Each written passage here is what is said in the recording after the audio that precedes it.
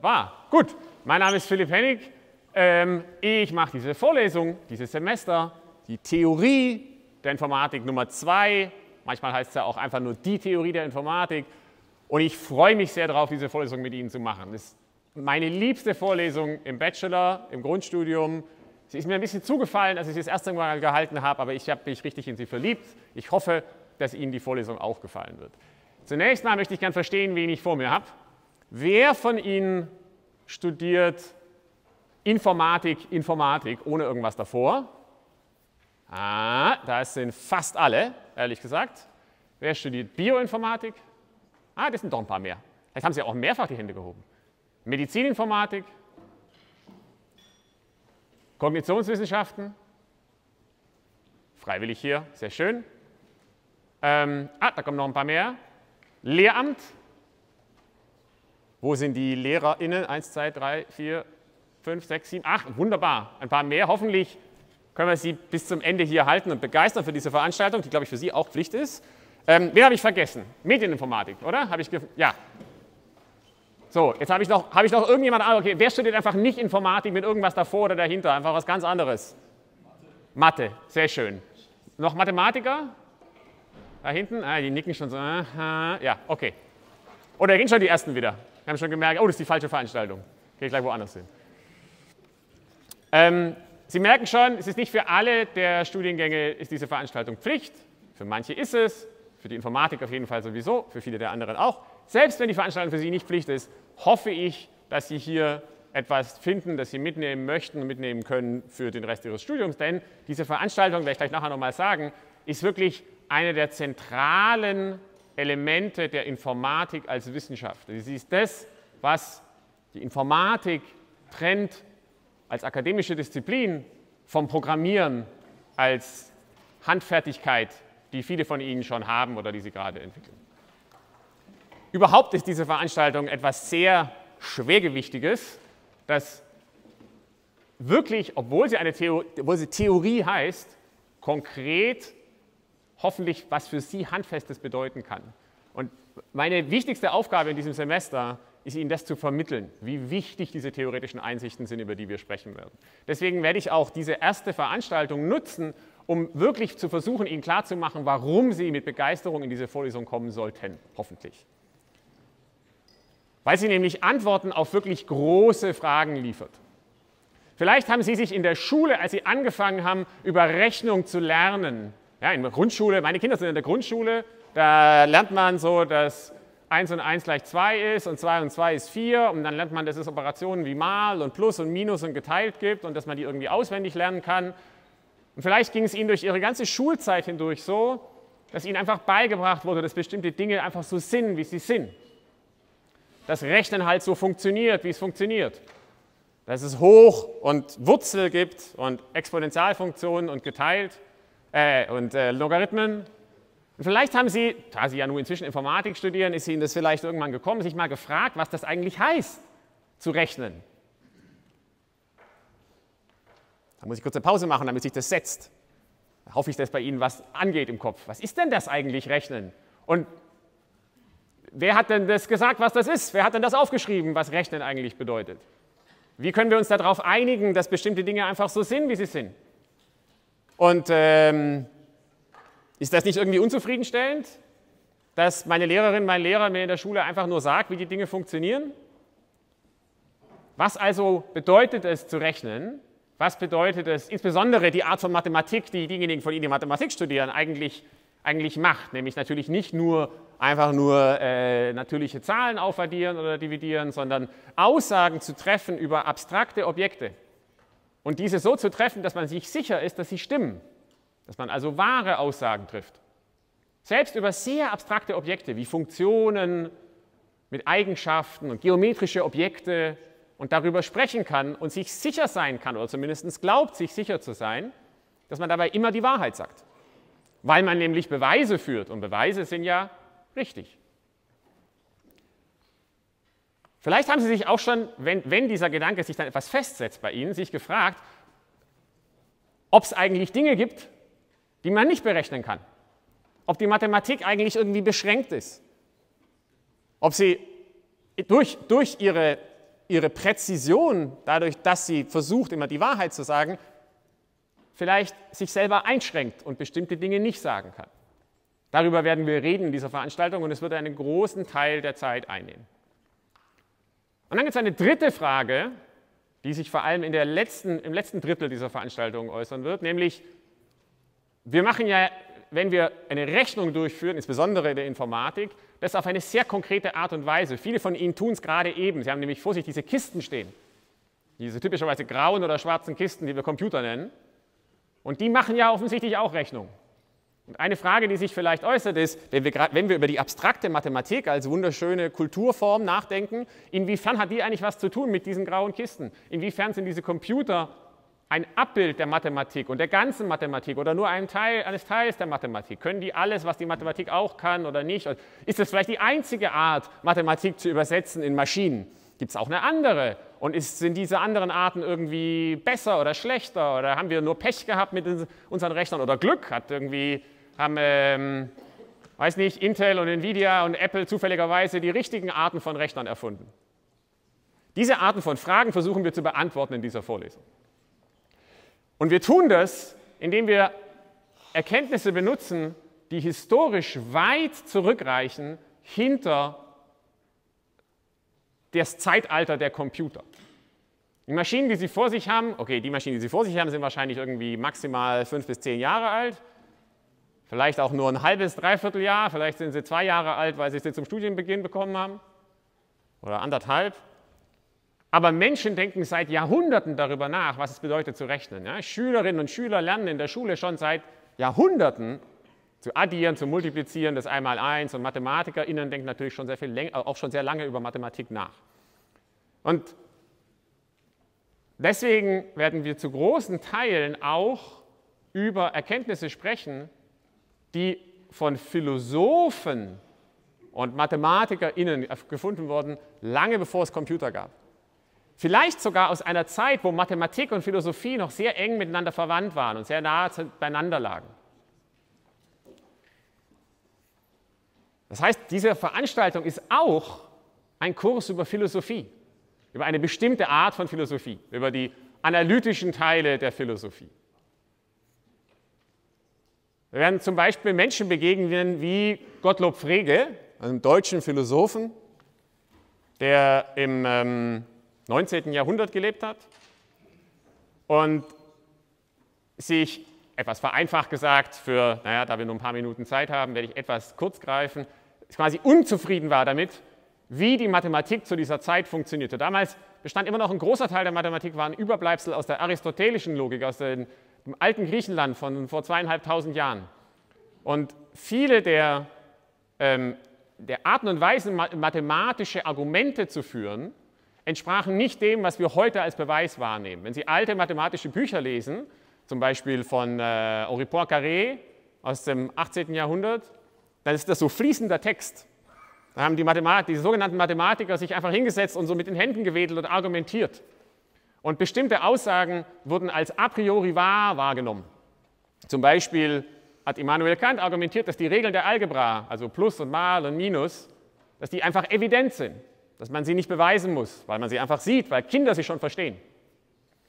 Frege war damit unzufrieden und hat argumentiert, dass die Mathematik auf eine axiomatische Ebene gestellt werden muss, dass wir uns also einigen müssen auf elementare Regeln und dann möglichst wenige davon natürlich haben wollen, damit wir nicht so viel haben zum darüber streiten, und dann schauen, welche Aussagen wir aus diesen elementaren Regeln herleiten können.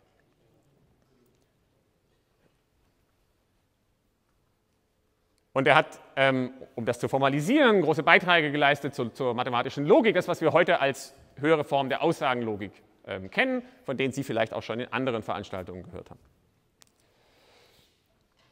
Frege war, hat Einfluss gehabt auf eine ganze Schule von Philosophen.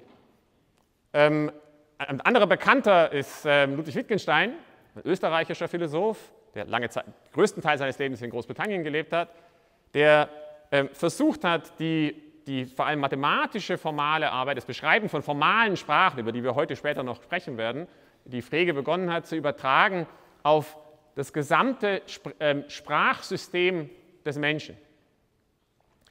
Die Frage, die da im Raum steht, ist quasi, ist es möglich, eine Sprache zu erfinden, in der man nur die Wahrheit sagen kann?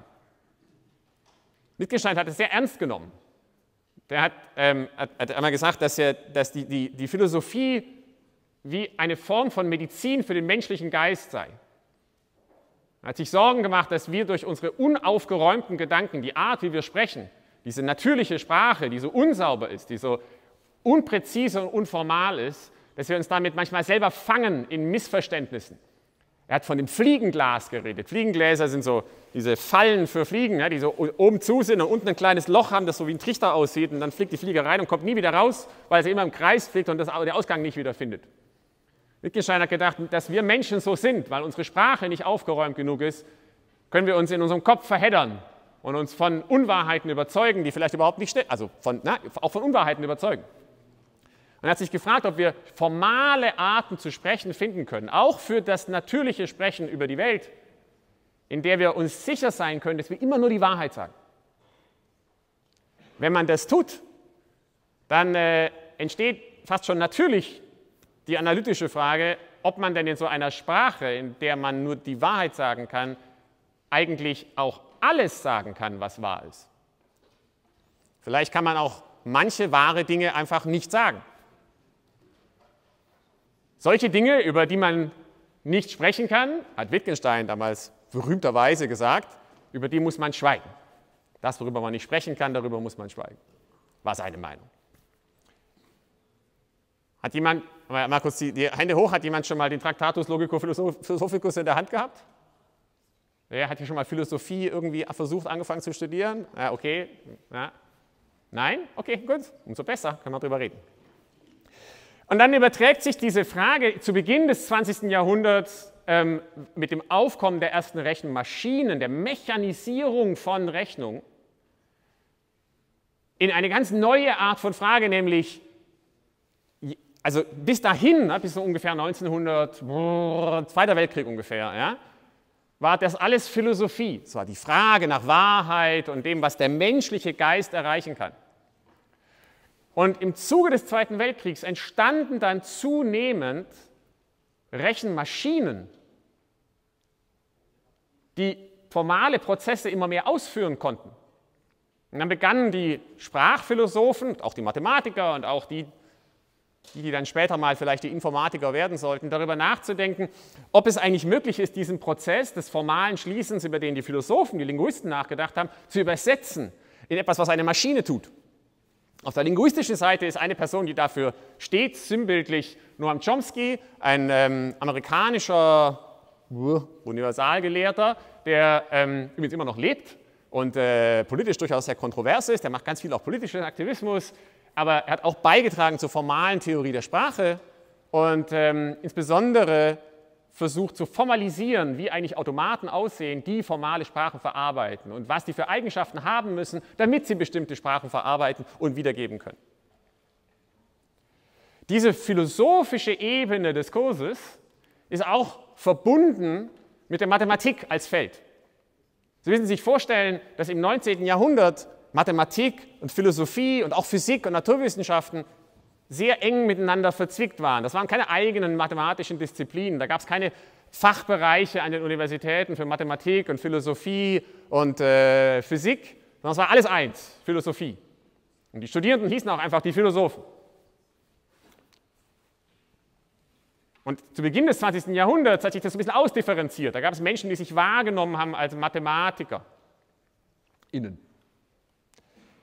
Eine zentrale Figur Anfang des 20. Jahrhunderts, 1920 in Deutschland oder vielleicht auch weltweit für die Mathematik, einer der berühmtesten Mathematiker aller Zeiten ist David Hilbert, der in Göttingen gelehrt hat und damit auch den Ruf Göttingens als äh, mathematisches Zentrum damals begründet hat, der ähm, um ungefähr so 1900 herum versucht hat, diesen Prozess, den Frege auch schon angestoßen hatte, weiter zu formalisieren, also die Mathematik auf stabile Füße zu stellen, wegzukommen von diesem vagen Argumentieren und zu schauen, was sind eigentlich die elementaren Axiome der Mathematik, auf die wir uns einigen können müssen und was können wir dann aus ihnen heraus ableiten.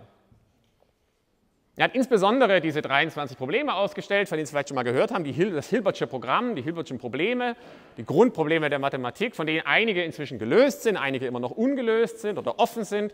Und von einigen wissen wir inzwischen, dass sie keine Antwort haben können.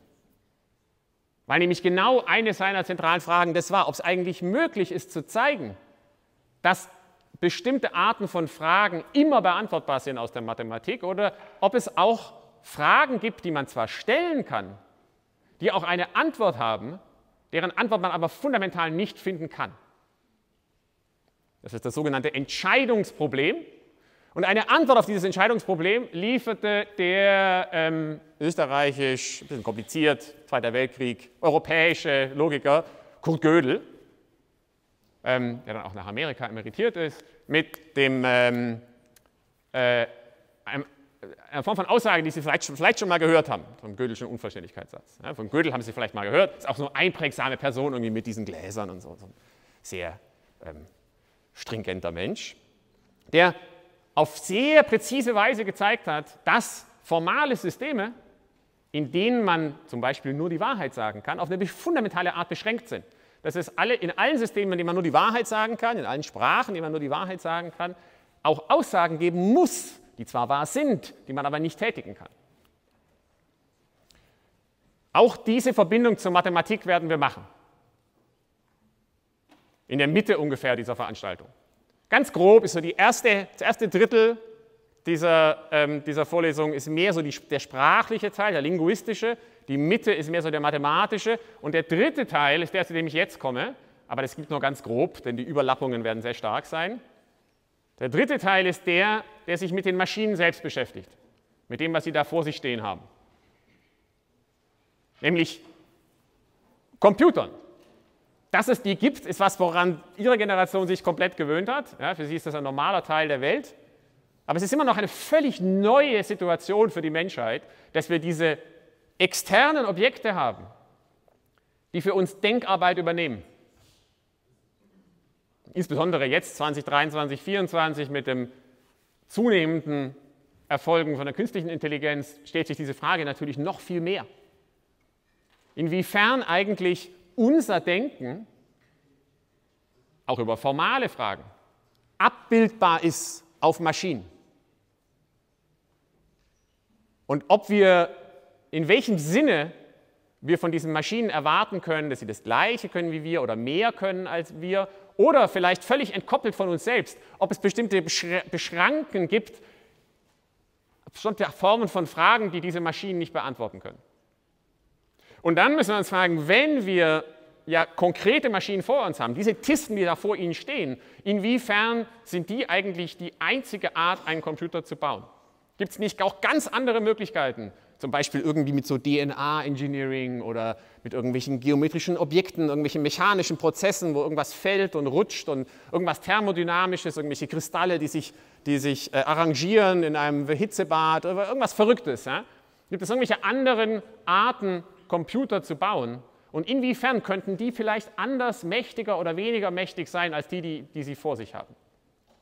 Die Person, von der Sie bestimmt schon gehört haben, die mit dieser Frage sehr eng verbunden ist, ist Alan Turing ein äh, britischer, ich glaube, ich kann sogar sagen, ein englischer hm, hm, Mathematiker, möchte man sagen, aber eigentlich er, markiert er vielleicht den Übergang von der Mathematik zur Informatik. Vielleicht ist er einer der ersten Informatiker, ein Mensch, der sich präzise mit, dem, mit, dem, mit der Konstruktion von Maschinen beschäftigt. Wir werden sehen, dass er sich übrigens im Kontext von Hilbert und Gödel mit der Frage dieses Entscheidungsproblems beschäftigt hat und zu diesem Zwecke versucht hat, eine möglichst konkrete Maschine zu erfinden, eine sich auszudenken, einen Computer, über den man konkret nachdenken kann, bei dem man eben nicht mit den Händen wedeln muss und sagen muss, ah, irgendwie passt das schon, sondern bei dem man sehr genau darüber nachdenken kann, wie dessen Rechenprozess abläuft, die Turing-Maschine.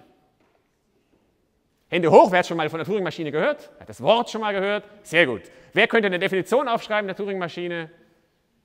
Hoffentlich nicht so viele, 1, 2, 3, sonst hätten Sie schon die erste Hälfte dieser Veranstaltung hier quasi schon hinter sich. Ja, ist ganz okay, da müssen wir noch irgendwie hin. In dieser Phase, so Zweiter Weltkrieg, kurz danach, da ging es vor allem darum, vielleicht eigentlich eher so vor dem Zweiten Weltkrieg, darum, ob solche Maschinen eigentlich, wie die eigentlich aussehen müssen ähm, ob man die bauen kann und was die dann eigentlich können. Natürlicherweise fand dieser Gedankenprozess quasi statt, bevor es diese Maschinen eigentlich gab oder ungefähr zu dem Zeitpunkt, als sie begannen zu existieren. Das ist übrigens historisch eine ganz interessante so Parallele. Die ersten Maschinen, die benutzt wurden, um zu rechnen, die stammen sogar noch von vor Turing. Die kommen zum Beispiel von so Leuten wie Hollerith oder so aus den Anfang des 20. Jahrhunderts. Das waren so Tabelliermaschinen.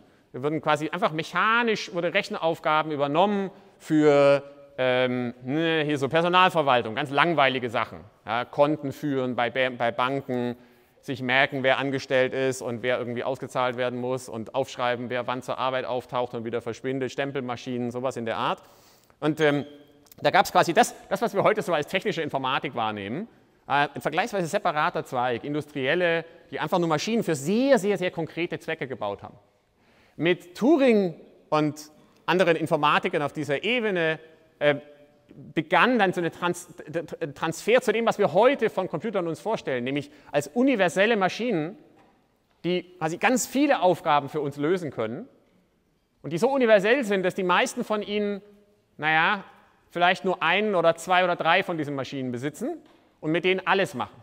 Ja, eine große, eine kleine und vielleicht eine ganz große daheim zum Zocken, eine ganz kleine zum in die Tasche stecken, ja, so eine, vielleicht noch eine ganz, ganz kleine am, Arm, am Armband, aber im Prinzip machen Sie mit einem Computer oder können Sie mit einem Computer all die Aufgaben machen, die Sie eben mit einem Computer machen können. Und es kommt uns ganz normal vor, dass das alles mit einer Maschine geht. Aber 1920 war das nicht so. Da gab es eine Maschine zum Tabellieren, wer zur Arbeit kommt und wer wieder geht. Und es gab eine ganz andere Maschine, um ähm, vorauszuberechnen, wann, wo irgendwo ein Flugzeug drüber fliegt äh, oder wie in welche, welcher Kurve ein Artilleriegeschoss fliegt. Das ist so eine typische Anwendung im frühen 20. Jahrhundert, ne? Krieg. Ähm, und äh, Turing und seine Zeitgenossen haben dazu beigetragen, dass, wir dass sie verstanden haben, dass es universelle Arten von Rechenmaschinen gibt, die all diese Aufgaben gemeinsam übernehmen können. Als es dann diese Maschinen mehr und mehr gab, in den 50ern und 60ern und so weiter, da tauchte dann natürlicherweise die Frage auf, ob eigentlich ähm, nicht nur, was diese Maschinen berechnen können, sondern ob es innerhalb dessen, was sie berechnen können, bestimmte Dinge gibt, die irgendwie schwerer zu tun sind als andere. Das ist die Frage nach Komplexität. Nicht nach Berechenbarkeit, sondern nach Komplexität. Ähm, ein Beispiel von zwei, wir werden einige, mehrere ähm, Informatiker aus, diesem Zeit, aus dieser Zeitalter kennenlernen. Ein Beispiel dafür sind Cook und Levin, die ein ganz berühmtes Theorem geliefert haben, das wir gegen Ende der Vorlesung sehen werden, ungefähr zwei Wochen vor ähm, der Klausur ähm, dass ähm, viele von Ihnen vielleicht nicht zwischen die, oder, unter diesen beiden Namen kennen, sondern, äh, oder wer kennt Cook und Levin? Haben wir Hände hoch? Wer hat schon mal gehört von den Namen? Ja, ein paar wenige, sehr gut. Ähm, vielleicht auch nur einen von den beiden. Es ist historisch, man lange Zeit nur Cook kannt im Westen oder nur Levin im Osten, ähm, die gezeigt haben, dass es bestimmte Probleme gibt, mit denen man eine ganze Klasse von besonders schweren Problemen ähm, universell lösen kann. NP-vollständige Probleme. Und ähm, wir werden darüber reden, inwie, wie, was das eigentlich heißt und ähm, was das dann bedeutet für Schwierigkeit von bestimmten Problemen und wie man, sie, wie man diese Probleme miteinander vergleichen kann. Es ist ein bisschen früh noch darüber so im Detail zu reden. Wir kommen dahin gegen Ende der Veranstaltung. Das heißt, Sie sind hier hoffentlich, um wirklich Antworten auf große zentrale Fragen zu bekommen, die zunächst mal gar nicht so viel mit diesen Computern zu tun haben, die Sie anscheinend studieren, sondern auch mit Ihnen selbst, mit Ihrem eigenen Geist und mit dem, was Sie vermögen mit Ihrem Gehirn, mit dieser Rechenmaschine, die Sie selber im Kopf haben. In diesem Hörsaal hier in der N7 finden auch die Grundveranstaltungen für die Physiker statt. Da gibt es Experimente und äh, da kommt der Herr Petke manchmal von da drüben raus und baut hier Experimente auf und startet die. In der Physik lernt man aus dem aus der direkten Interaktion mit der, mit der Natur, mit der Welt um uns herum. Und der Natur kann man Fragen stellen und dann gibt es ja einem Antworten über die Experimente. In der Informatik, in der Mathematik ist das Subjekt, das wir studieren, etwas Geistiges, was Abstraktes. Wir selbst oder diese Maschinen, die wir selber geschaffen haben. Also natürlich nicht wir jeder Einzelne selber, sondern vielleicht die Maschinen, die ne, wir als Menschheit geschaffen haben. Und deswegen müssen wir besonders aufpassen, dass die Fragen, die wir stellen, an uns selbst und an diese Geräte, weil die so etwas Abstraktes haben, weil die in so einer, so einer ätherischen Ebene irgendwie stattfinden, dass wir, die, dass wir die sehr präzise stellen, dass wir uns die Regeln sehr klar machen. In der Physik werden die Regeln uns quasi vorgegeben von der Natur. Wir nennen sie auch die Naturgesetze. In der Informatik gibt es keine Gesetze, da gibt es nur Axiome, Definitionen und dann Möglichkeiten, aus den Aktionen etwas heraus abzuleiten. Umso mehr hilft es uns dabei zu verstehen, was wir eigentlich können und was wir nicht können. Wir werden also feststellen, dass wir Informatik wahrnehmen können als eine Formalisierung, eine formale Abzweig von sowohl der Linguistik als auch der Mathematik und der Philosophie. Als die, vielleicht die Art von Mathematik, die versucht, etwas Konkretes zu tun, die sich die zusätzliche Regel auferlegt, nicht nur in Anführungszeichen nachzudenken über Probleme, sondern diese Probleme auch konkret zu lösen auf echten Maschinen. Wir werden lernen in der Berechenbarkeit, ungefähr in der Mitte der Vorlesung, dass es bestimmte Probleme gibt, die man zwar stellen kann, als Frage stellen kann, deren Antwort man aber nicht finden kann, weil sie nicht berechenbar ist mit den Maschinen, die wir so selber vor uns gestellt haben. Und dann werden wir gegen Ende der Veranstaltung merken, dass es innerhalb des Raumes dessen, was die Maschinen berechnen können, bestimmte Probleme gibt, die scheinbar schwerer sind und bestimmte andere Probleme, die scheinbar leichter sind. Und wir werden faszinierenderweise feststellen, dass es gar nicht so einfach ist, genau zu sagen, inwiefern ein Problem eigentlich schwerer als ein anderes ist. Und dass da insbesondere so eine ganze Klasse von Problemen gibt, wo wir eigentlich noch, wo wir leider immer noch nicht genau wissen, wie schwer sie eigentlich wirklich sind. Das ist die Frage nach P und NP, von der Sie bestimmt gehört haben und zu der wir dann kommen werden.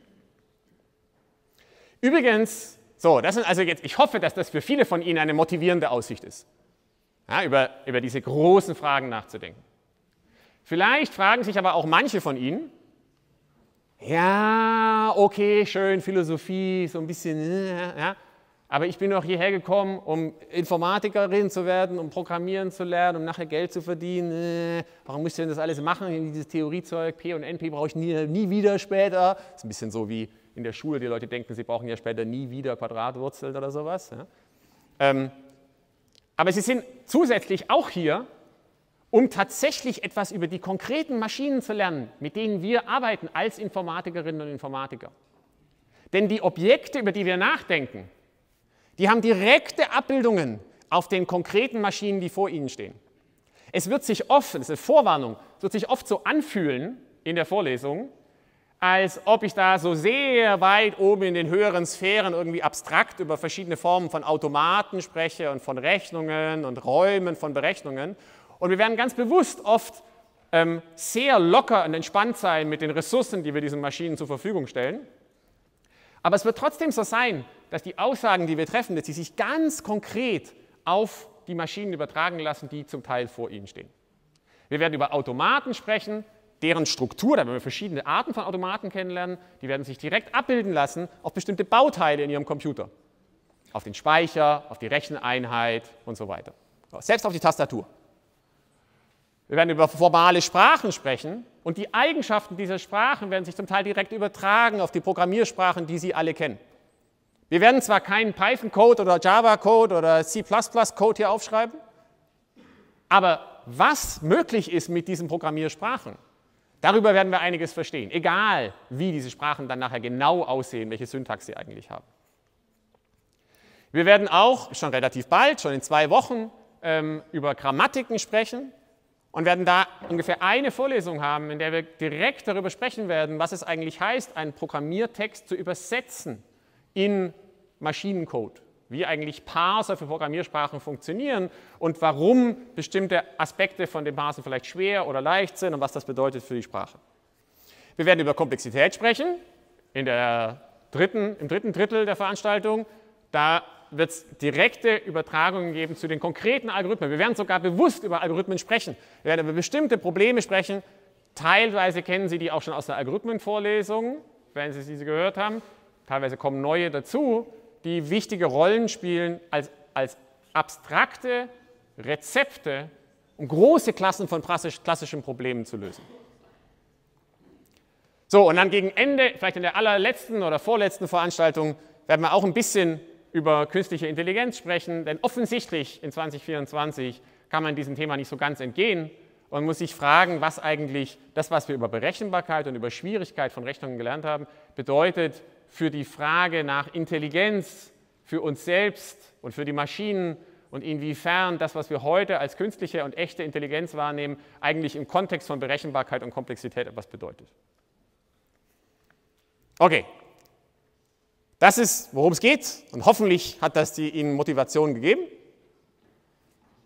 Jetzt geht es auch, ich noch ein bisschen was dazu sagen, wie wir das machen werden, wie wir diesen, diesen Weg durch die Vorlesung tatsächlich konkret dann ähm, übersetzen werden. Für diejenigen von Ihnen, die Mathematik studieren, äh, oder natürlich für den großen Teil von Ihnen, die schon Mathematikvorlesungen gehört haben, Mathematik 1, 2, 3 für die InformatikerInnen. Ähm, Sie werden merken, dass diese Veranstaltung einen leicht anderen Charakter hat dafür, wie man Beweise führt, im Vergleich zu dem, was Sie aus der Mathematik kennen. Aber dennoch ist sie eine vergleichsweise formale Veranstaltung.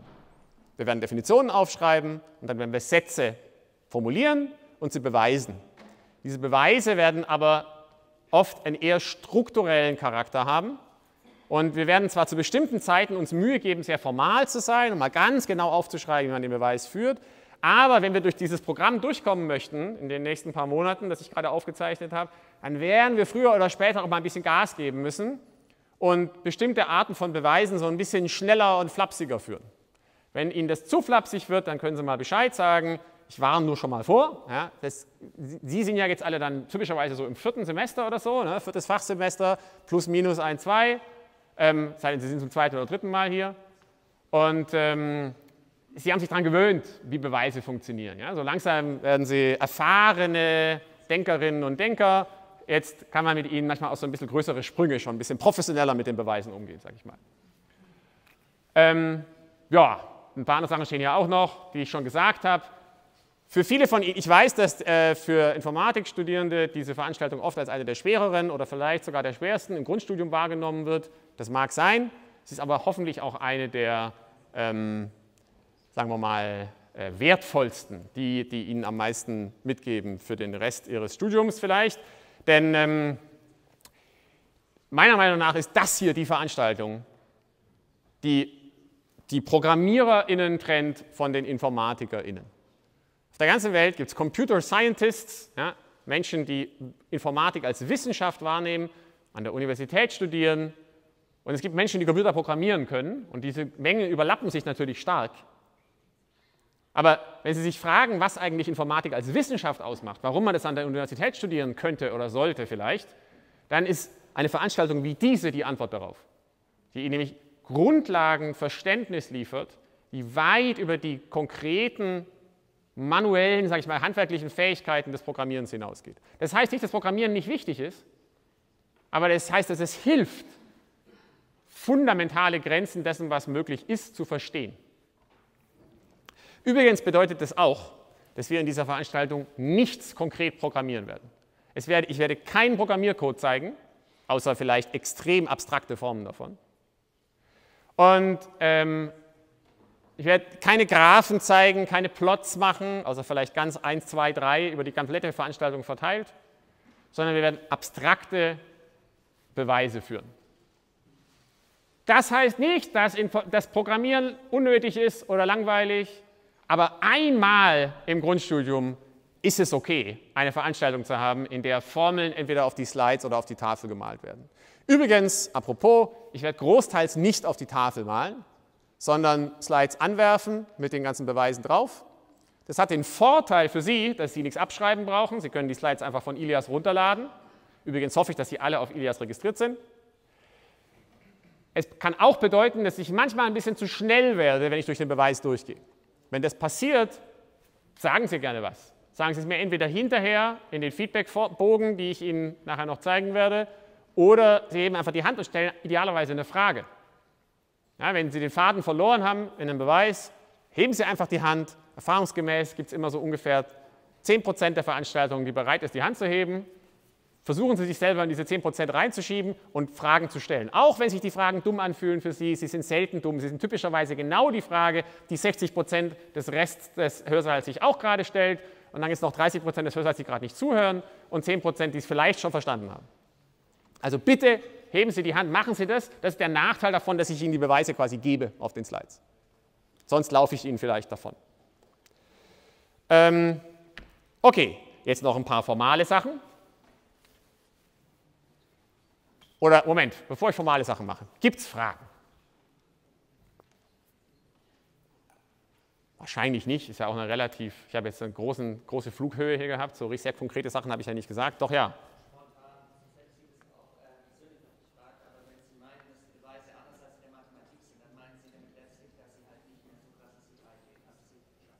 Also die Frage ist, wenn die Beweise anders, wenn ich habe gesagt, die Beweise sind ein bisschen anders als in der Mathematik, heißt das, dass sie nicht mehr so formal sauber sind. Es werden trotzdem Beweise sein. Ein Beweis ist ein formaler Prozess, um eine wahre Aussage in eine andere wahre Aussage zu überführen. Und das werden wir machen.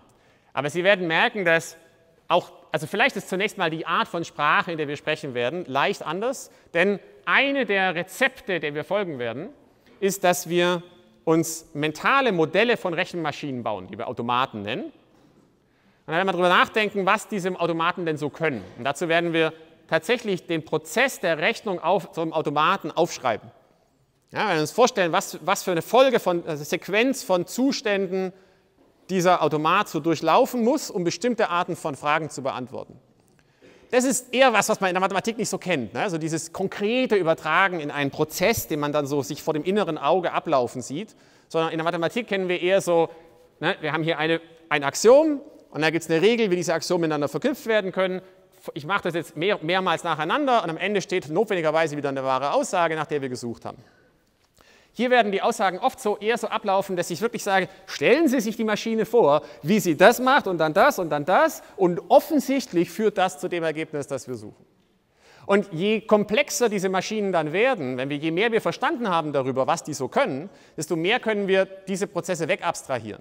Wir können dann oft sagen, naja, wir wissen ja schon von vor drei Wochen, dass Folgendes geht, also nehmen wir einfach so eine Maschine, die das macht, weil wir wissen ja schon, dass es geht, und dann bauen wir mit der Folgendes.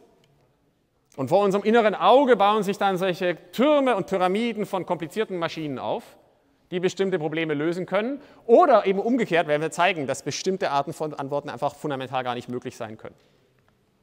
Gute Frage. Noch mehr Fragen? Ich mache das auch deshalb so konkret vorneweg, weil ich weiß, dass eine Sache, die oft passiert in diesen Grundvorlesungen, diesen theoretischen Grundvorlesungen, ist, dass Sie ganz am Anfang, zumindest ging, ging mir das immer so als Student, in der allerersten Vorlesung den Faden verlieren, weil ich nie ganz verstanden habe, worum es eigentlich geht. Und dann, zack, ist die erste Vorlesung vorbei und irgendwie stehen fünf Axiome auf meinem Mitschrieb und ich habe überhaupt nicht verstanden, warum die jetzt wichtig sind. Ich hoffe, dass es uns heute gelingt, sie quasi richtig aufzugleisen, dass sie mit dem Kopf im richtigen Space sind, um dann folgen zu können für die nächsten paar Vorlesungen.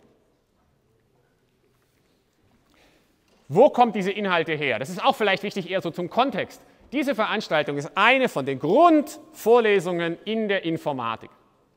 Auf der ganzen Welt, in den USA, in Russland, in China, in Japan, in Deutschland, in Frankreich, in England, wenn Informatikstudierende Informatik studieren an einer Universität, haben Sie früher oder später so eine Vorlesung, die heißt irgendwie Theory of Computer Science, Theory of Computation, die Theorie, der die Berechenbarkeitstheorie, die Komplexitätstheorie. Manchmal wird die anders aufgeteilt. An manchen deutschen technischen Universitäten ist das, was wir hier machen, zwei Vorlesungen, dafür dann aber irgendwie sechs, äh, sechs ECTS mal zwei oder so. Und der genaue Schnitt der Inhalte in verschiedene Veranstaltungen mag sich ein bisschen verändern. Aber die Aussagen, über die wir lernen werden, die sind universell. Die werden auf der ganzen Welt gleich behandelt. Das ist ein bisschen so wie lineare Algebra. Sie haben alle über Eigenwerte gelernt in Ihren Grundvorlesungen in der Mathematik und die sind überall das Gleiche. Wird, da gibt es einfach zwei, drei Arten, sie zu erklären und die macht die ganze Welt gleich. So ähnlich ist es hier auch und deswegen gibt es auch ein, quasi einen Grundsatz an Büchern, aus denen man diese Beweise halt so rausholt. Das heißt, ich sage Ihnen schon ganz offen vorneweg, ich erfinde hier nichts Neues für Sie. Das ist anders als eine Spezialvorlesung im Master, wo die Professorinnen und Professoren sich ganz neu überlegen vielleicht für dieses Semester, was muss man denn gerade wissen? Was hat sich denn im letzten halben Jahr verändert? Was sind denn die Modelle, die Algorithmen, über die wir reden müssen? Da müssen wir selber ausprobieren. Manchmal stimmt es nicht ganz. Dann kann man dann nochmal ein halbes Jahr später merken, dass es daneben lag. Diese Inhalte hier, die stammen aus Büchern. Und wenn Sie nachlesen wollen und wenn Sie glauben, dass diese Veranstaltung hier für Sie nutzlos ist und Sie auch einfach ein Buch lesen können, dann können Sie das auch gerne machen. Sie können insbesondere den SIPSA lesen, vielleicht das meist, meist weit verbreiteste Lehrbuch über die Theorie der Informatik. Michael SIPSA ist ein Professor am MIT, der dieses Buch geschrieben hat, das auf der ganzen Welt verwendet wird. So eine relativ vernünftig verdaubare Größe an Buch, nicht so super dünn, aber auch nicht so ein Wälzer. Äh, auf dem basiert ein großer Teil dessen, was ich hier mache. Dann gibt es ähm, den Aurora und Barak. Das ist ein ziemlich dicker Wälzer, nur über Komplexität. Also quasi das letzte Drittel dieses Buches. Und da werden wir nur Ausschnitte daraus rausnehmen, wo ich besonders schöne Aussagen gefunden habe in diesem Buch. Es gibt überhaupt keine Möglichkeit, das ganze Buch zu machen. Da bräuchte man zwei Semester nur für dieses Buch. Dann gibt es ähm, ähm, ein Buch von Juraj Ronkovic, das ähm, auf Deutsch ist. Auch ähm, relativ gut, da sind ein paar, oder eigentlich sehr schön, da sind so ein paar einzelne Blüten drin, ähm, die ich an bestimmten Stellen benutzen werde, um ähm, Inhalte hoffentlich klarer zu erklären. Und dann gibt es insbesondere in Deutschland zwei ähm, äh, recht weit verbreitete Bücher von Uwe Schöning, äh, der äh, diese Kurzinformationsbücher geschrieben hat, sehr kompakt, so, so äh, kleiner Fingerdick ungefähr und nur A6 groß oder so, oder was ist das? Ne, A5, glaube ich. Ähm, Ideen der Informatik und theoretische Informatik kurz gefasst. Ich mache sehr wenig aus diesen Büchern, aber wenn Sie die nochmal zum Review benutzen wollen für die Klausur, ist es vielleicht eine Möglichkeit. Die andere wichtige Quelle oder Überlapp an Informationen ist die Veranstaltung, die immer im Wechsel alle zwei Jahre unter dem gleichen Namen von meiner Kollegin Ulrike von Luxburg gehalten wird. Die Theorie der Informatik 2 wird immer in den ungeraden Jahren von ihr gemacht und in den geraden Jahren von mir, zumindest im Moment. Ähm, und ich werde jetzt nicht fragen, weil Sie müssen sich nicht outen, aber manche von Ihnen waren vielleicht schon in der Veranstaltung von Frau von Luxburg. Ähm, und wenn Sie die gehört haben und jetzt wieder hier sind, weil Sie das, die Klausur ähm, so sehr gemocht haben, dass Sie sie nochmal machen wollen, dann werden Sie merken, dass die Inhalte sich sehr stark gleichen. Das liegt zum einen daran, dass, wie ich gesagt habe, naja, diese Inhalte halt einfach universell weltweit die gleichen sind. Zum anderen aber auch daran, dass wir durchaus bewusst versuchen, die Inhalte unserer Veranstaltungen sehr ähnlich zu halten, damit es Ihnen möglich ist, auch im nächsten Jahr die Klausur nochmal zu machen.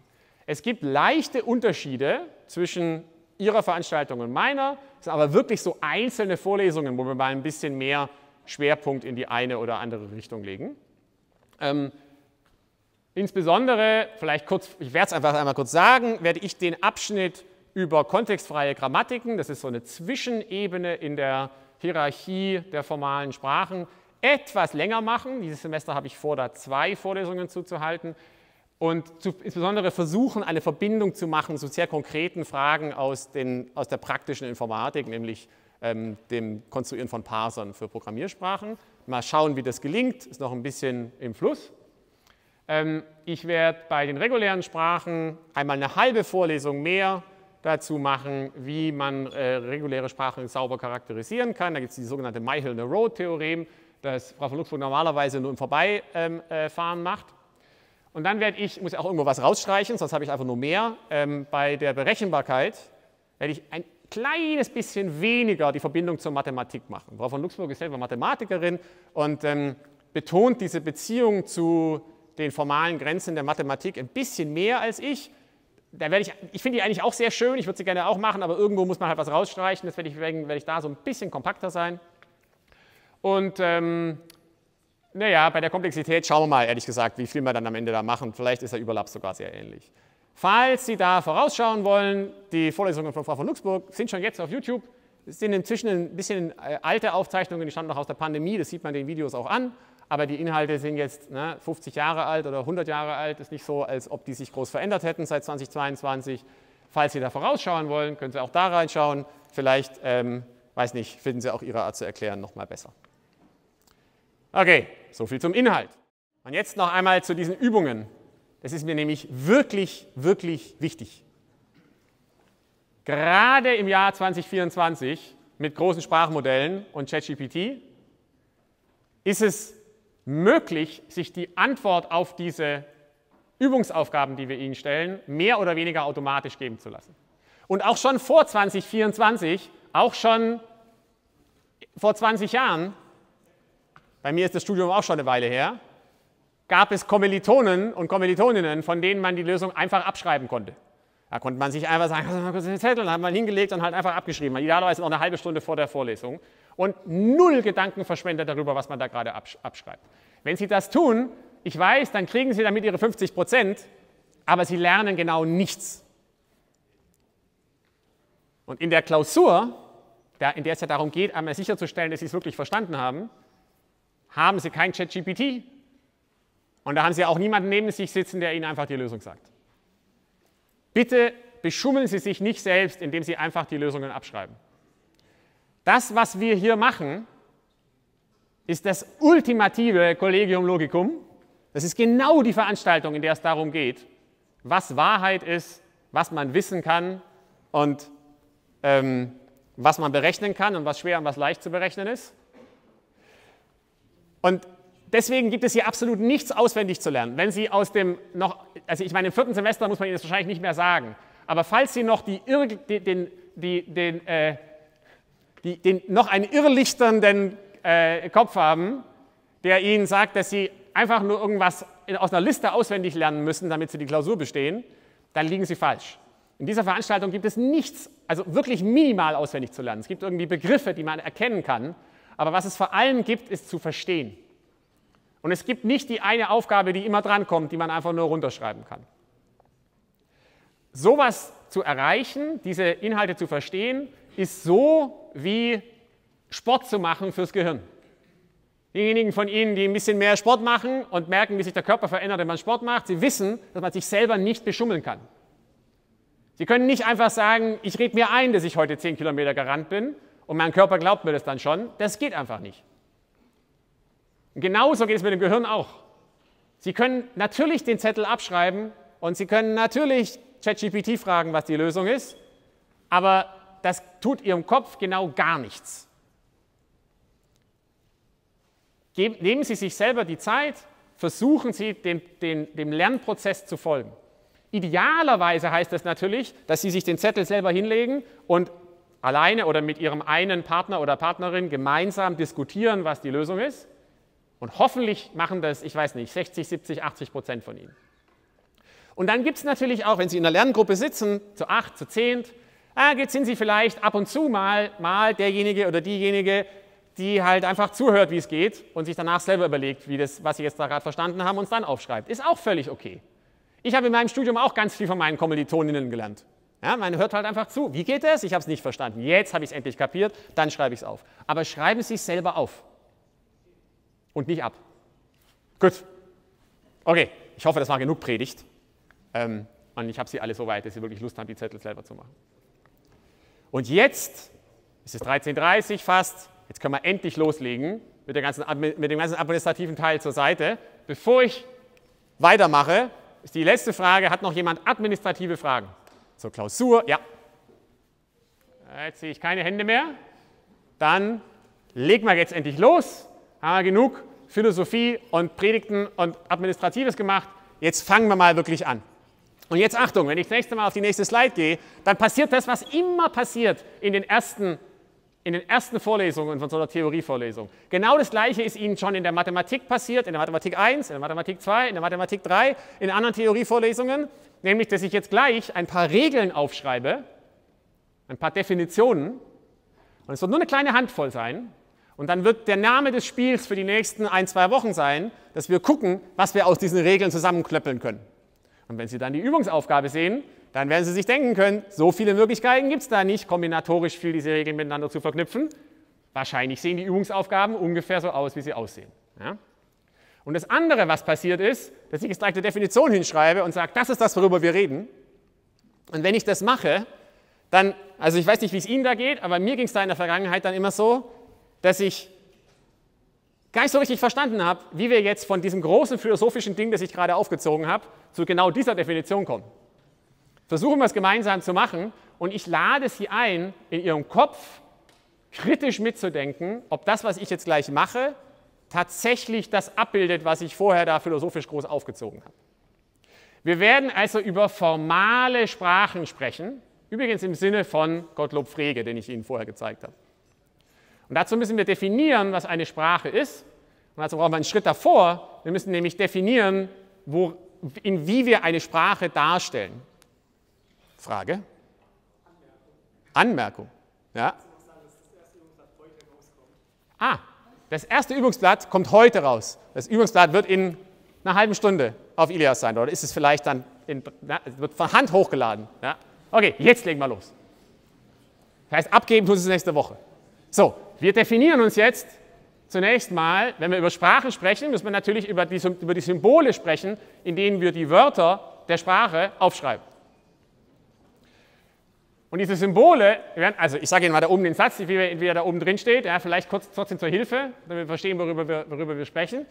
Wir werden uns zunächst mal Sprachen definieren, sowohl im linguistischen Sinne als auch im Computersprachensinne. Vielleicht merken Sie gerade in Ihrem Kopf, dass Sie Sprachen in zwei verschiedenen Arten und Weisen benutzen, nämlich über ne, Deutsch und Französisch und Englisch und Python und C++ und Haskell und whatever. Ja? Und die beiden haben irgendwas miteinander zu tun. Sie einigen sich nämlich darüber, dass wir, dass wir in, in einer Form, formalen Form, symbolisch Objekte definieren, die wir Wörter nennen.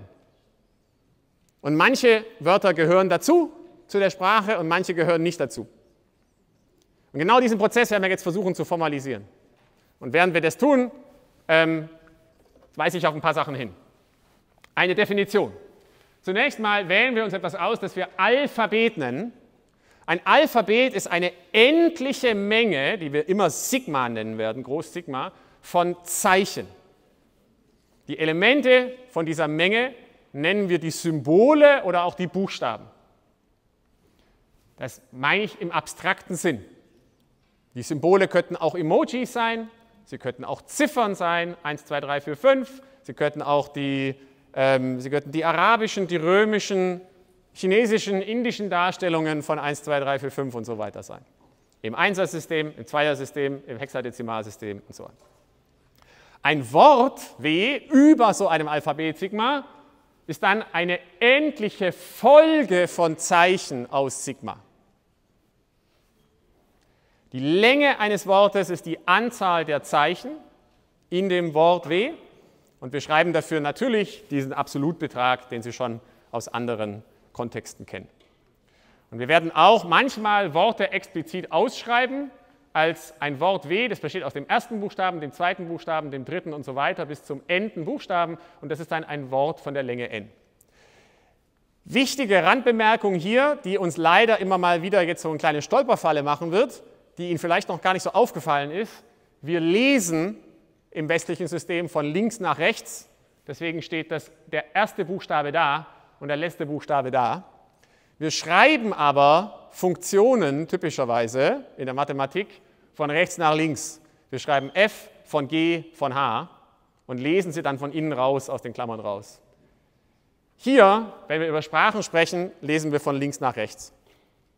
Das wird gleich hier unten klar für die Konkatenation von zwei Wörtern. W1 und W2 werden wir W1, W2 schreiben. Und manchmal werde ich auch, einfach weil die Notation so ein bisschen weit verbreitet ist, auch schreiben, W ist gleich W1, Kreis W2, also ein kleiner Kreis ja, für die Konkatenation. Sie kennen das aus der Mathematik und da lesen Sie es genau andersrum. Ne? Da schreibt man erst das verknüpft mit dem, man liest von rechts nach links. Hier ist es leider andersrum und es liegt einfach daran, dass wir uns alle blöderweise darauf geeinigt haben, von links nach rechts zu lesen. Und sonst wären die Worte ja nicht lesbar. Okay, das heißt zum Beispiel, zu dem Teil hier komme ich gleich, ich sage was dazu gleich. Ein Beispiel für ein Alphabet wäre zum Beispiel der, das äh, binäre Alphabet 01. Ja, oder plus minus oder hoch runter, wie auch immer. Ähm, wenn wir das 01-System als äh, äh, Alphabet benutzen, dann könnten wir zum Beispiel als ein Wort die binäre Zahl 011010 aufschreiben und von links nach rechts lesen. Dieses Wort hat die Länge 6. Wir könnten auch die lateinischen Buchstaben benutzen, von A bis Z, die kleinen. Dann können wir so Worte wie Informatik schreiben und dieses Wort hat die Länge 10. Und wir können zwei Wörter miteinander verknüpfen, zum Beispiel diese beiden, dann ist W1, W2, erst W1, dann W2, von links nach rechts gelesen. Macht Sinn, oder? Wir schreiben dann natürlich auch ganz schnell solche kleinen Tricks wie das hier, W1 Quadrat, heißt halt einfach das Wort zweimal hintereinander geschrieben. Können Sie sich wahrscheinlich auch denken. Und dann ähm, müssen wir ein bisschen aufpassen. Aus verschiedenen Gründen brauchen wir auch ein Wort, das aus genau null Buchstaben besteht. Wir nennen das das leere Wort. Das ist das Wort, in dem nichts steht. Und dieses Wort hat einen besonderen Namen und es heißt Epsilon, das leere Wort. Und dieses Epsilon sorgt immer gleich für die erste große Verwirrung in dieser Veranstaltung. Deswegen werde ich immer mal wieder ein bisschen drüber reden. Wir brauchen es unbedingt. Ähm, Warum? Naja, eine erste Intuition dafür, warum wir das brauchen, ist, wir werden diese Worte nachher benutzen als Eingaben für Computer. Ja, wir werden uns also Maschinen überlegen, welche diese Worte einlesen, zum Beispiel, weil sie jemand in die Tastatur eintippt oder weil sie auf irgendeinem Band stehen, das man auslesen kann oder weil sie irgendwo reingefüttert werden über eine Lochkarte oder so. Und dann müssen wir darüber reden können, was diese Maschine macht, wenn sie genau nichts gegeben bekommt. Wenn man sie also anschaltet und nichts vor ihr liegt. Und dann ist diese Eingabe genau das leere Wort. Und um das beschreiben zu können, brauchen wir dieses Ding. Das liegt da einfach irgendwo rum. Vielleicht hilfreich für Sie als Denkhilfe ist, Worte sind also für Sie, wenn Sie mit Programmiersprachen äh, und Algorithmen vertraut sind, Datentypen vom, vom, vom, vom, Typ Liste. Sie haben also eine Reihung, eine Ordnung. Ja, die haben einen Anfang und ein Ende und wir wissen, wie wir von einem Element zum nächsten kommen. Sie sind keine Mengen, ungeordnete Haufen, Säcke voll Elementen, sondern sie haben eine Reihenfolge. Das leere Wort ist sowas wie die leere Liste. Ja, so eckige Klammer auf, eckige Klammer zu. Sowas in der Art. Ein leerer Array. Okay? Macht Sinn? Heftiges Nicken, wir sind noch schön langsam, damit ich hier nicht davonlaufe. Geht dann ganz schnell, sehr viel schneller. Jetzt, wenn wir Worte definiert haben, übrigens, nebenbei für Sie, damit Sie mal irgendwo äh, klugscheißen können auf der Party, auf Deutsch gibt es das Wort Worte und das Wort Wörter. Die sind beides anscheinend Plural von irgendwas, nämlich von Wort. Und ich werde sie immer mal wieder miteinander verwechseln. Vielleicht glaubt das daher, dass ich irgendwo hier aus Südwestdeutschland komme und uns das hier so ein bisschen legalisch. Aber genau genommen ist das Wort Wörter das, worüber wir reden hier, nämlich aufeinanderfolgende Sequenzen von Buchstaben. Und Worte ist das, was in der Bibel steht oder in einem Buch, ja, nämlich Gedanken, die aneinandergereiht sind und die irgendwie semantischen Inhalt, äh, ja, Inhalt haben. Idealerweise sollte ich also immer von Wörtern sprechen, ah, und ich werde es trotzdem ständig falsch machen. So, wenn wir dann Wörter aufgeschrieben haben, dann können wir, einfach um über diese Wörter reden zu können, müssen wir über deren Anfang und deren Ende und deren Teilsequenzen reden können müssen. Und dazu werden wir über Teilworte sprechen. Ein Wort x, also eine, eine Sequenz von Zeichen, heißt Teilwort von einem anderen Wort y, falls es Wörter u und v im, ah, Sigma Stern habe ich jetzt auf der nächsten Slide definiert, Schweinerei. Ah, ich habe es vorher verschoben, die Slide, weil ich dachte, so rum ist es besser. Macht nichts, kommen wir gleich dazu. Falls es Wörter U und V gibt, ist eigentlich egal, was der Sigma-Stern ist, da kommen wir gleich dazu. Sie wissen, was, was Wörter sind. Ne? Falls es andere Wörter gibt, U und V, Sigma-Stern ist einfach genau die Menge, in denen die aus allen Wörtern besteht. Sie können sich überlegen, was die wohl ist und gleich sehen Sie, was die Definition dazu ist. Ähm, falls es Wörter U und V gibt, so dass wir Y schreiben können als U, X, V konkateniert miteinander. Falls u das leere Wort ist, also falls davor nichts steht, dann nennen wir x ein Präfix von y und falls v das leere Wort ist, dann nennen wir x das Suffix von y. Auch das wahrscheinlich für Sie keine Überraschung, sind schöne Worte irgendwie, Präfix und Suffix mag man, kennt man so als Informatikerin. Leider werden wir sie gar nicht so oft benutzen können, aber hier sind sie einmal definiert. Ja, hier unten sind ein paar Beispiele, glaube ich, relativ offensichtlich. Entscheidend ist vielleicht, gleich mal wieder über das leere Wort nachzudenken. Das leere Wort ist sein eigenes Präfix und sein eigenes Suffix und es ist auch das Präfix und Suffix von allen anderen Wörtern. Interessant übrigens, dass jetzt die ersten anfangen zu gehen. Sobald ich anfange, Mathe zu machen, gehen sie. Jetzt habe ich so schön Philosophie gemacht, um sie zu motivieren und dann verliere ich sie gleich alle. Ähm, okay, jetzt haben wir Wörter definiert. Und jetzt mache ich einmal kurz die Definition, die ich eigentlich schon längst hätte vorher machen sollen, die mir aber jetzt eigentlich passender vorkommt. Nämlich, was machen wir mit den Wörtern? Ja, Wörter aufzuschreiben ist irgendwie langweilig. Ja, das, kann, das ist offensichtlich was Mechanisches. Wenn ich Ihnen sage, es hat die Zeichen 0 und 1, dann ist halt jede Sequenz von 0 und 1 ist ein, ist ein Wort. Okay, fein. Spannend wird es erst, wenn wir bestimmte Wörter herausgreifen können und sagen können, es gibt bestimmte Arten von Wörtern, die sind okay und die anderen sind nicht okay. Wenn wir also klassifizieren zwischen in und out, richtig und falsch, wahr und falsch, akzeptiert, nicht akzeptiert, korrektes Ergebnis, falsches Ergebnis. Das ist das, was Computer machen. Und genau diesen Prozess, den formalisieren wir durch die Idee einer Sprache. Funktioniert folgendermaßen. Die Menge aller Wörter der Länge n über einem Alphabet, Sigma, nennen wir Sigma hoch n. Ähm, dann fragt man sich natürlich sofort, was Sigma hoch 0 ist. Typische Mathematikerfrage übrigens. Was ist denn irgendwas hoch 0? Ah, da haben wir ein Wort dafür. Das ist nämlich genau per Definition dieselbe, die Menge, die das leere Wort enthält. Und da gibt es jetzt immer irgendwo ein paar Schlaumeier, die wahrscheinlich gerade schon anfangen zu überlegen. Sehr gut, dass sie das tun, wenn sie das tun. Ich möchte sie überhaupt nicht irgendwie, äh, da irgendwie schlecht fühlen lassen. Das hier oben ist nicht die leere Menge, sondern es ist die Sprache, welche das leere Wort enthält. Wir denken gleich nochmal drüber nach, in einem Moment. Sigma hoch 0 ist also die Menge, welche das leere Wort enthält. Und dann definieren wir dieses Sigma Stern. Das ist erstmal abstrakt, einfach die Menge aller möglichen Wörter. Und die hat einen Namen, die heißt Cleansche Hülle, nach einem Informatiker namens Clean, von dem wir noch sehr viel mehr hören werden in den nächsten zwei, drei Vorlesungen. Und es ist die Menge aller Wörter über Sigma, hier steht sie einmal definiert. Ja, es ist die Vereinigung über alle möglichen Aneinanderreihungen von Buchstaben aus ähm, dem Alphabet. Und vielleicht ist hier immer hilfreich zu sagen, dazu gehört insbesondere Sigma hoch 0, also das leere Wort. Und insbesondere gehört dazu alle endlichen Sequenzen von Symbolen für beliebige Länge n. Sie kennen das aus anderen Vorlesungen, dieses Symbol mit dem Unendlich da oben. Und vielleicht haben Sie schon mal gemerkt oder gehört oder gesagt bekommen, dass dieses Unendlich so ein bisschen irgendwie gefährlich ist. Und wir werden uns sehr ausgiebig damit beschäftigen. Hier ist das erste Mal, wo das so vielleicht so ein bisschen Bauchschmerzen macht.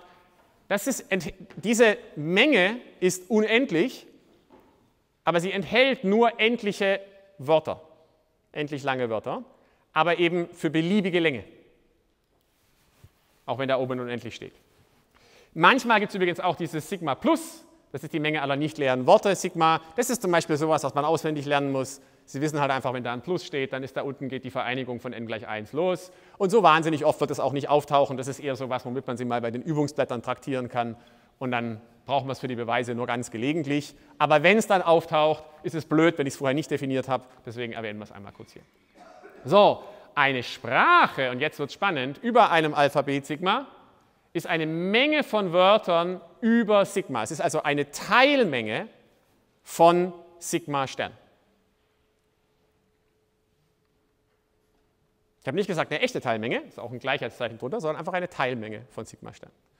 Und das ist die mächtige Konstruktion, die uns das ganze Semester über beschäftigen wird und die so einfach aufzuschreiben ist. Nehmen wir ein paar Beispiele. Sagen wir, das Alphabet ist AB, das ist im Prinzip das binäre Alphabet, ne? das könnte auch 01 heißen.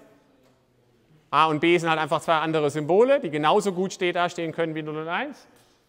Dann wäre die, Menge L, äh, die Sprache L gleich Sigma hoch 2 wäre genau diese Menge. Ja, also alle möglichen Kombinationen von den beiden Buchstaben A und B aneinandergereiht. Dieses Beispiel ist da, um zum einen zu zeigen, dass alle möglichen Buchstaben aneinandergereiht werden können und zum anderen, dass die Reihenfolge wichtig ist. Das Wort AB ist ein anderes als das Wort BA. Diese Dinger sind nicht kommutativ. Ich könnte auch zum Beispiel die, das lateinische Alphabet benutzen, von A bis Z und, und so weiter.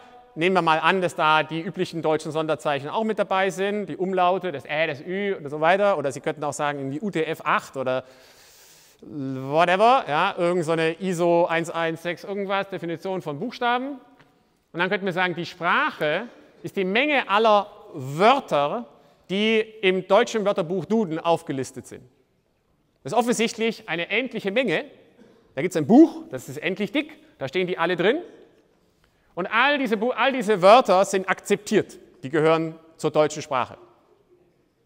Und natürlich geht das so für alle anderen menschlichen Sprachen auch. Das wäre eine Möglichkeit, die deutsche Sprache zu definieren. Und dann könnte man so eine Art Filter bauen, dem man ein Wort gibt und dann guckt danach, ob das Wort, das ihm gegeben wurde, in dem, in dem Duden drinsteht. Und wenn ja, dann gibt er aus ja und wenn nein, gibt er aus nein. Das wäre schon so eine Art von Automat, wie wir sie dann bald bauen werden. Wir können aber auch mathematischere Konzepte definieren. Und da wird es jetzt spannend. Denn es ist vergleichsweise einfach, einen Satz aufzuschreiben in geschweifte Klammern. Und dann ist es erstaunlich schwer darüber nachzudenken, wie man den tatsächlich realisiert als Regel. Ich könnte zum Beispiel sagen, ähm, ich nehme das binäre Alphabet 01 und dann L ist die Menge aller Worte über Sigma-Stern, die eine gerade Binärzahl darstellen. Kurzer Check, wie würden Sie das überprüfen, ob so eine Zahl binär ist oder nicht?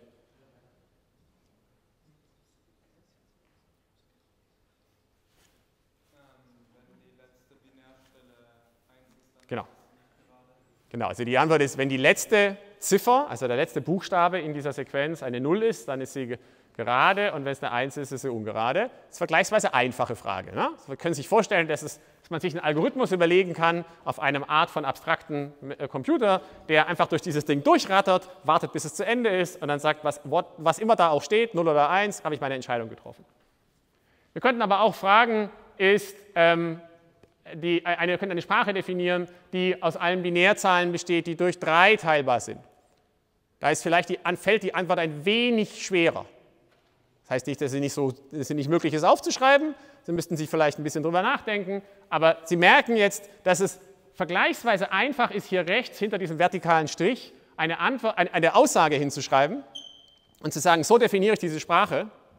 Und dass es sehr viel schwerer ist, auch für Sie im Kopf, darüber nachzudenken, wie man entscheidet, ob ein bestimmtes Wort W in der Sprache ist oder nicht. Wir können aber auch solche Definitionen von Sprachen ähm, in eine abstrakte Art und Weise formulieren, sodass sie unendliche Mengen definieren. Wir könnten zum Beispiel sagen, wir definieren die Sprache über diesem binären Alphabet, die besteht immer aus dem Aufeinanderfolgen von den beiden verschiedenen Buchstaben. Also aus AB aus ABAB, aus ABAB, ABAB, ABAB, AB und so weiter. Ja? Also allen möglichen n Kopien von dem Teilstring AB. Offensichtlich ist das eine Teilmenge von der klinischen Hülle und offensichtlich ist diese Menge unendlich groß. Das heißt, wir sehen, Sprachen können also unendlich groß sein. Sie können unendlich viele Wörter enthalten. Und dann können wir auch mal darüber nachdenken, wie viele Sprachen es eigentlich gibt. Die Menge aller Sprachen über einem Alphabet Sigma ist, ich sage mal offensichtlich, die Potenzmenge, also die Menge aller Teilmengen der klinischen Hülle. Ja, per Definition, weil er gesagt, Sprachen sind Teilmengen von Sigma Stern, also ist notwendigerweise die Menge aller Sprachen über einem Alphabet die Menge aller Teilmengen von Sigma Stern und das ist genau die Potenzmenge.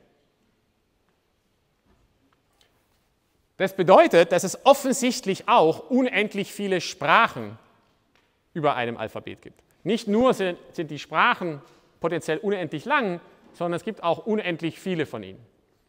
Und da ahnen Sie vielleicht schon voraus, dass das noch was ein Problem werden wird für uns. Also wir müssen darüber nachdenken, wie viel unendlich da eigentlich drin ist und inwiefern das ein Problem ist, dass es da so unendlich viele verschiedene Dinge gibt, die wir entscheiden können wollen.